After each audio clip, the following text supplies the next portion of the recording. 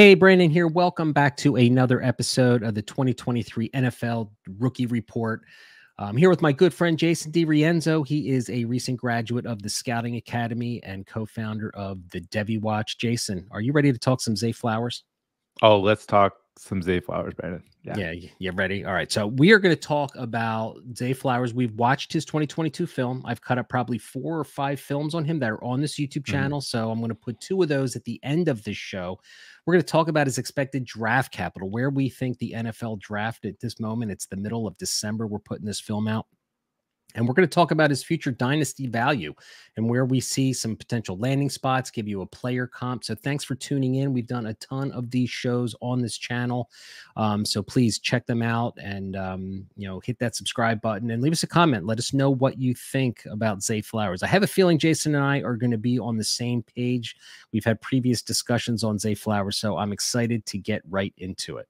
All right. So Zay Flowers. What do we see in Zay Flowers? All right. So Zay Flowers is five foot 10, 172 pounds. Now he's going to be mixed in in the NFL draft with a lot of other wide receivers very similar in size. So this is a very kind of smaller class as we head into the draft. On the season, college football is over. He had 78 receptions for 1,077 yards and 12 TDs. He has been a productive, I believe he is a senior.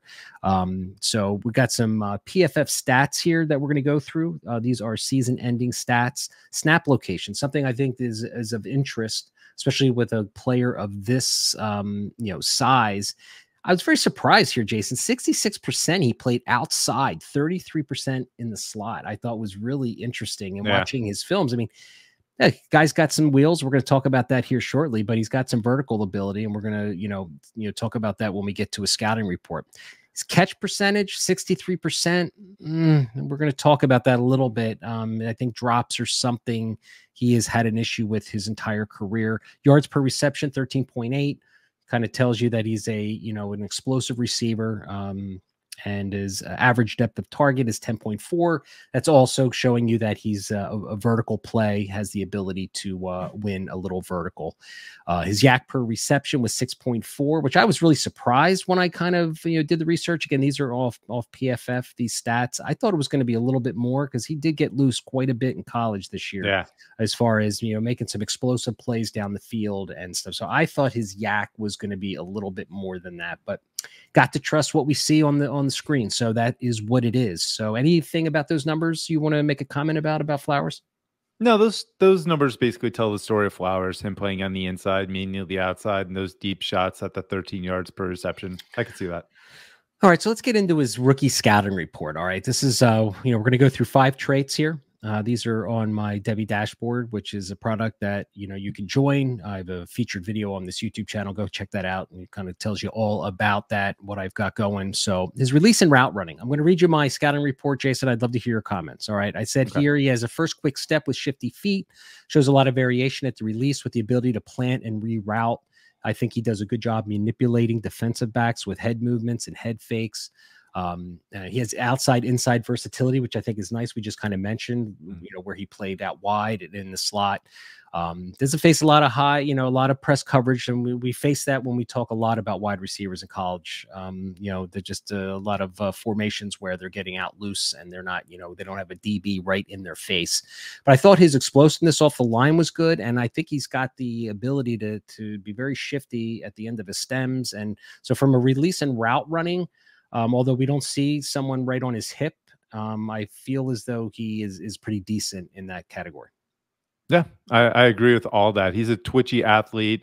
Um, you know, he's very sudden at the line of scrimmage. Does a good good job using stemming in order to manipulate to change the direction. But uh, yeah, I think you nailed a lot of the great points with this, uh, with his athleticism there.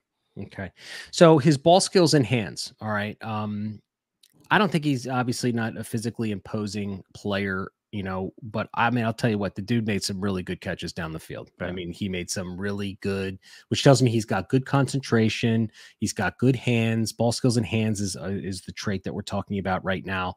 He's not going to excel in 50-50 balls due to his size, but I thought he displayed good ball tracking. He made some really great body control adjustments going up and getting the ball. I got to give the kid props for his size. I mean, he's, he mm-hmm. plays tough.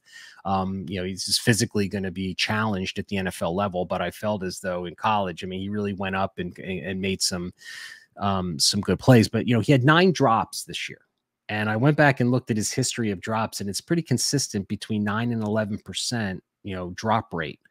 So this is an issue that's plagued him in his career. You know, I know you would go into the scouting academy.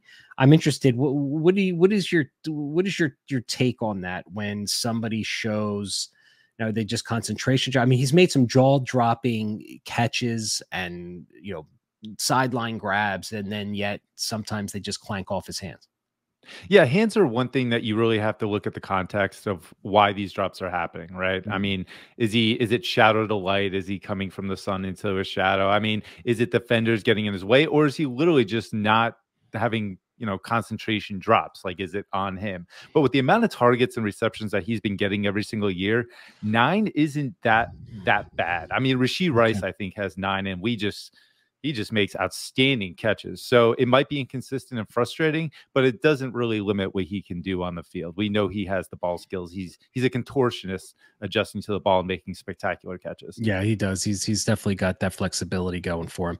His yeah. acceleration and speed uh, again, here in my notes is he has ex excellent acceleration and play speed. I mean, I think he's a three level threat in the NFL because that's what he did in college. Um, he can take the top off a of defense and creates easy separation. And I have a, you know, I did some research on his on his 40 time, and it looks like he's about a four three or a little more than that. Um, I that's where I, I think everyone's expecting him to come in. So, you know, he's got good acceleration, he's got good speed, we've got the ball in his hands. I, I think you know there that's probably one of his his calling cards and what NFL teams are going to like about him. Um, yeah, I I think you nailed a lot of good points there too. I just the, the speed is going to be his calling card. I mean, that's probably what's going to get him drafted sure. a little bit higher and the twitchiness of being an athlete who's right. versatile playing inside outside. But at the same time, he's very limited due to what we're about to talk about the play strength. But the speed, the athleticism is definitely going to help him out. Yeah. So yards after the catch again, I mentioned it's 6.4 in 2022. Showed uh, what what Jason had said. He's a contortionist. You know, good body control. I really liked his vision in the second level. I thought he yeah. set. I thought he set up defenders. He just didn't run to open space. He was trying to manipulate the defenders to get you know you know better angles and pursuit angles from the defenders. So I really liked what I saw in that. So I think he's. I think that's going to be you know where he wins in the NFL. I think space is going to have to be manufactured for him. He's going to be like a uh, you know a slant guy, get a guy, you know, get him the ball within 10 15 yards, a quick, you know, out route or whatever, trying to get him in space to, you know, do damage in the second level. Yeah, I liken him to what I would have seen from like an Elijah Moore, Ron Rondale Moore, that that mm-hmm. type of twitchy athlete that just get him in space and allow him to create. And I think that's gonna where that that's where he's gonna make his money. Yeah, exactly. So again, physicality and athleticism. He's got the athleticism. I don't think there's much to talk about that. I think we've already mentioned that. That that's what mm-hmm. you know. He's got physicality is going to be, I think, the issue for him. You know, um, you know, he's like I said, he, he's not going to win imposing. You know, I think DBs in his face and hand fighting and doing that. He's going to just have to to to work and find space out there. So I think that's going to be a concern.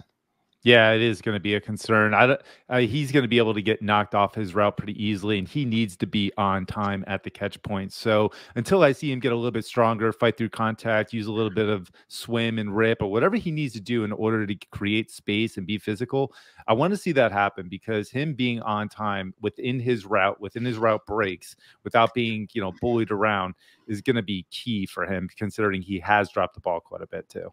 Yeah. So all right, so that's his scouting report, guys. And I was doing some research. I, am a little disappointed. He's going to the Shrine Bowl and not the Senior Bowl. What, what do, what do you what do you make about that? That that tells me. I mean, I, the Nagy guy who runs that Senior Bowl did did he just not want him there? Is that is that how that works? I'm not sure how they get picked on Senior Bowl, Shrine Bowl, but I know Shrine Bowl um, isn't good. And my guy Kyle Philips last year was a Shrine Bowl guy who seemed to make some buzz before he hurt his shoulder and went on IR this year for the tech for the uh, for the Titans. But yeah, I don't know. I was a little disappointed that he didn't get a Senior Bowl invite. Usually that I mean this this can be overcome, but usually that puts them anywhere between the fourth and the fifth as a default within Mhm. draft capital range. Okay. But they can also be called up to the Senior Bowl, I believe, if they perform highly at the Shrine Bowl, if I remember correctly. So it's still a possibility how this all works out. Okay. So let's talk about his draft capital. All right. So I did a little research for the show. All right. Right now on two different um, NFL mock draft database, I, I'm always tongue twisted with that damn website for some reason. He's ranked, on- he's ranked on the ninth receiver getting day two draft capital right now. And on Tankathon, it's kind of around the same thing. So I personally don't see him a day two guy. I, I think he's. I think he's a day three guy, and it's early. I mean, uh, there's a lot of these other receivers may emerge and, and stuff, but yeah, I, I I think he's a day three guy. I don't think there's any way he gets unless someone just unless he goes to the combine and just blows the doors off the, the three cone and ge- gets a four three forty and it just really looks explosive. Um, I don't I don't see anything before um, a day three draft capital. Yeah, I got I got round five, six right now. But the, the thing with him, he's been vastly productive, Yep. fairly consistent. Mhm. Um, and he's a big playmaker. So Yeah. it does just take one team to fall in love and need a guy like that on their team for him to go higher. But yeah, that Shrine Bowl really threw me off a little bit. I I think fifth, sixth is probably more of a range at this point. Okay. Um, rookie draft selection. All right. So we did our two round mock. He wasn't drafted. Um, and I think we had mentioned on that show too. So we, so Jason and I did a two round rookie mock a few weeks ago. So go to the channel and check that out. It's on this, uh, on this channel and we had some fun with that. Um, yeah, I think he's a, a round three rookie pick. I mean, unless I don't even think if he gets a great landing spot, I'm going to be reaching for Zay Flowers. Nah, I, I'm I'm with you, man. I think th- three somewhere in there. Uh, even landing spot, even with opportunity, it's just he's he's that type of player where you got to be very careful, Mhm. you know, with his size and everything. Fantasy Yes. wise, let's say Yeah. fantasy wise. right? Exactly. So, I mean, I think he's a wide receiver four, probably um, Mhm. from a projected fantasy value. Uh, do you see him? I don't ever see Yeah, him being. I got a- four with three upside. Yeah, that's exactly what I'm thinking. So, landing spot, we'd like to, you know, put the uh, crystal balls on here and, and talk about landing spot. I put my Eagles down because I need a slot receiver. And then I'm thinking, you know, I put that on the show sheet and I'm thinking, you know, Quez Watkins right now is our third. I like guy. Watkins. I like And- him, man. And I'll tell you what, the, the guy just drips with physicality for his Yeah. size. I mean, he's got the speed. And then I'm like, you know what? I think it's really going to be really hard for Zay Flowers to really make an impact on a team on a regular basis on our fantasy rosters. I mean, because I look at Quez Watkins and I just see a guy with the same amount of speed and twitchiness, but the physicality you can just see is is different. Yeah, yeah, I can I can see that. Uh, the Eagles, I mean, it would be fun. Just the offense. It's a very explosive offense right now. Um, I, I don't really have a ideal landing spot for him because, like I said, even if there is immediate opportunity, I'm still not that thrilled with what he could deliver. You know, Mhm. at his size and you know just the development I think he needs. So I think any team, um, but one without a lot of receiver help would probably be best at this point. Yeah, see, I think a, a team that has two really good receivers is the best spot for him because they'll take coverage off him and he won't be. Well, he's going to be a slot, so I'm not Oh, sure how yeah. much. You know what I mean? I, I don't think, even though we played outside in college, I don't think you trust him on the outside. So, uh, so a player comp. All right, I'm going to your your beloved Chicago Bears over here, buddy. All right, so Darnell Mooney is that a good or a shitty comp? Is that because that Darnell Mooney is kind of the same size, and I see the, the elite quickness. I haven't watched a ton of Mooney and a ton of Chicago Bears. You know, not my favorite team to watch. You know, um, although although Fields is getting a little better. You know, so it's been fun lately. Thank God. yeah, I'm sure it has, at least for the last few weeks, right? Uh, Right. is Darnell Mooney a good comp or a bad comp? I mean, what do what do you? Uh, you know what? I, I can kind of see that, but I think Darnell Mooney is such a nuanced route runner, just Mm-hmm. understands, you know, just the timing and the tempo within his routes. And he's got such an extended route tree at this point. Um, I think he's a little bit more advanced. But if you're talking to me about the athleticism and the skill set and everything that kind of he embodies, Zay Flower does, I can see that. Yeah, I don't Yeah, think that's a bad comp at all. I I I have uh I see KJ Hamler maybe. I'm not sure about the size, but I see the I same that type one. of twitchy athlete that I saw at Penn State, and Yeah.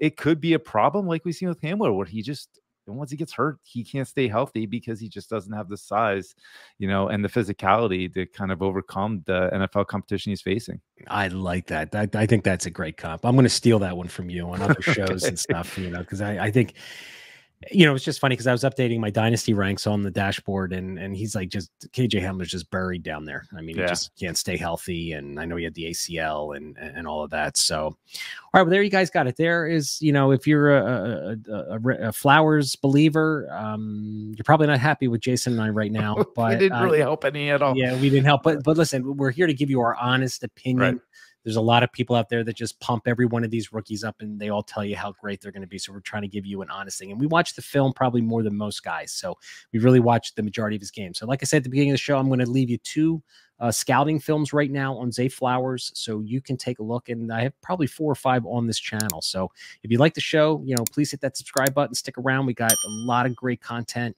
heading into the rookie draft. So again, guys, thank you for watching. Jason, as always, always having a pleasure being you on here, buddy. Thank you, buddy. Appreciate it. All right. See you guys later.